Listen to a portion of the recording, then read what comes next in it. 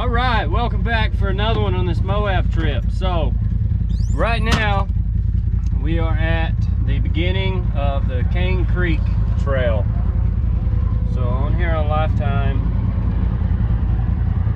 So, Kane Creek, we're parked right here along the main highway. Gonna run this trail. It's labeled as a red trail. Some of the red trails got some fuzzy spots, some of them don't.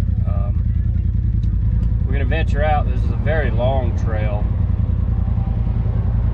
so I'm not sure how far we're going to track down it, but there seems to be a good spot back over here, labeled as the Creek Rocky 2, uh, Small Bridge,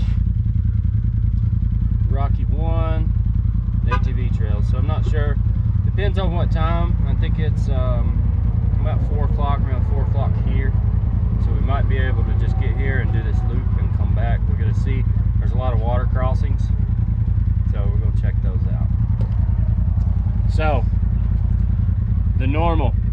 If you're not subscribed, go ahead and hit that subscribe button. Drop us a like, comment, notification bell, merchandise link in the description below.